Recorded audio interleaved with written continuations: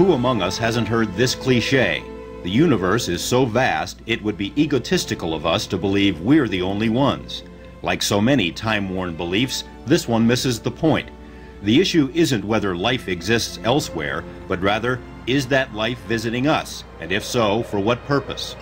The assumption that UFOs merely represent extraterrestrial civilizations, people like us who just happen to live on other planets, may also be overly simplistic.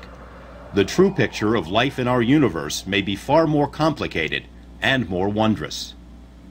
They are describing phenomena that and objects that appear very often out of nowhere, disappear on the spot, objects that are changing shapes, objects that merge together. If, if the technology or the phenomenon can do that, it, what that tells me is that it is manipulating time and space dimensions in ways that are beyond our science. And if they can do that, they can be from anywhere, anytime. They don't have to be from a particular planet in outer space. Harvard's John Mack agrees that the aliens may not be aliens at all. They may live among us in some sort of parallel world which we do not yet understand. All of those sources of information that tell us that the uh, universe is not the materially regular, well-ordered uh, machine that uh, we like to think it is, and that uh, there are realms of reality that are far beyond what we can uh, touch and measure with our restricted empirical tools. For most scientists, still rooted in the mindset of the 17th century, such concepts are preposterous. If something can't be physically measured, then it can't exist, meaning there are no souls, no human spirit, no God, no alien worlds. 747s are flying over the outback of Australia every day, and the Aborigines look up, and none of them have a piece of one, you know. Uh, but uh, they know what they're seeing. These things are there, and uh, the evidence is, uh, is enormous. Proof is whatever it takes to convince us that something is true. On the subject of UFOs, there is more than enough evidence to prove that something really is going on, but none of it means anything to a person who simply refuses to take a fair look. UFOs have been around a long time. Millions of people over thousands of years have seen them. For centuries, they've been captured in carvings and drawings. Today, they are seen in photos, videos, films, and radar images.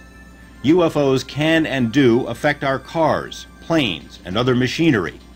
Thousands of landing site traces have been recorded. Soil has been baked, burned, irradiated. Mystical crop formations appear overnight all over the world with changes in the crop's genetic structure. Humans who encounter alien beings report being taken from their homes, probed, their memories altered, and they often carry away marks, scars, and other physical signs. Animals are being harvested by some unseen force and for some unknown purpose.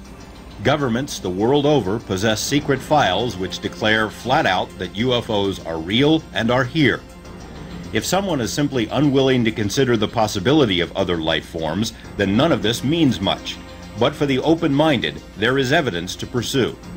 I think that this is a solvable problem at this point. We are poised now to answer these fundamental questions. Eh, eh, after half a century of dealing with this subject, we are now in a position to actually solve this mystery.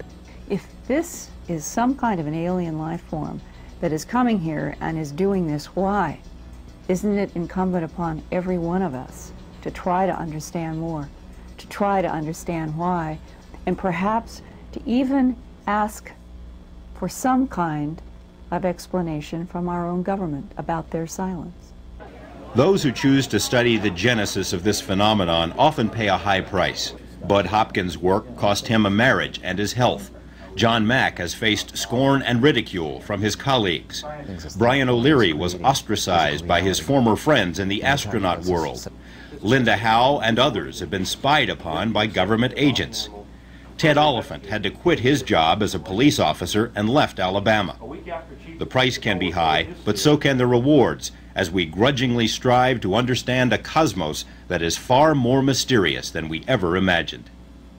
We're dealing with extraterrestrial beings, uh, we're dealing with interdimensional beings, we're dealing with phenomena that go in and out of our physical reality and are right on the fringes of our physical reality.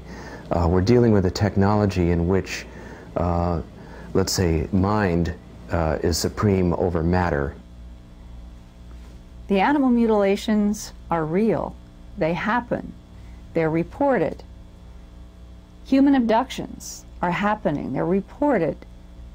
We're sitting at a time, at a crossroads as we're going into this next century, where I believe firmly that the next big story is going to be contact from something else out there.